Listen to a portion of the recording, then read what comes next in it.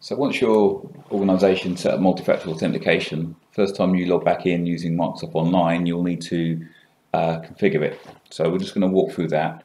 This particular video is um, how to configure the um, the Authenticator app. Now, there are a number of Authenticator apps out there. Obviously, the Microsoft one. Um, there's uh, LastPass, there's Google, there's there's a number. So you can decide which one you want to use. You don't have to use the Microsoft one. But for this particular one, I will use the Microsoft one. So instead of saying phone, we're going to say mobile app. Um, you can receive notifications to um, the mobile app, or you can use a verification code from within the app. So there's two ways you can set it up. Um, we're going to set the first one up, which is the receive notifications verification.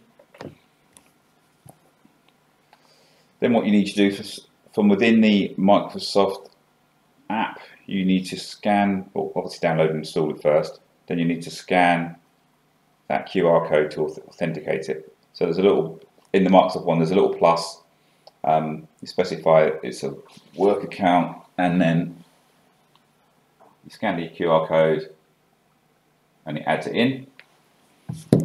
Okay, brilliant, that's done. Then hit next. Let's just checking the activation status.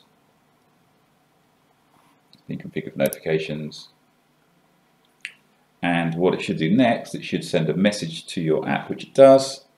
And I can now just approve that from within the app and.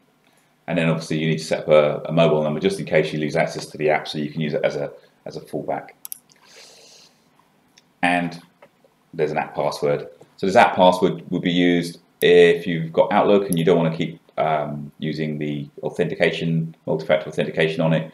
You can save this password, um, sort of like a one-time password, and then you don't need to write it down anywhere. You just put it into the app, and that's that. And finish and that is it.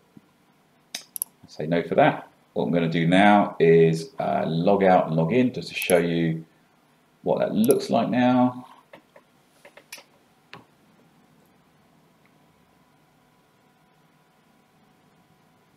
Okay, signed out and log back in.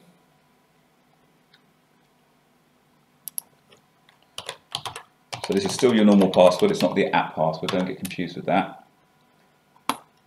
Yep, and it's now sent me a message to the app saying do I want to verify it?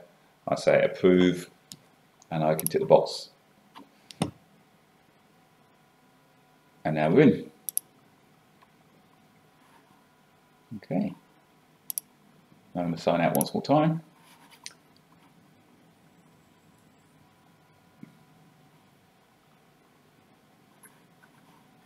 Okay, sign in once more put in my password.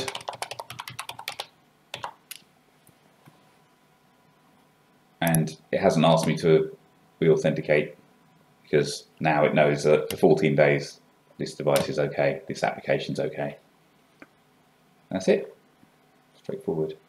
Um, that app password obviously you would set up within Outlook or Teams or Skype for Business or any of those that need it. Um, newer versions of Office you can actually just authenticate from within the app. Um, that's straightforward. Any problems? Give us a shout.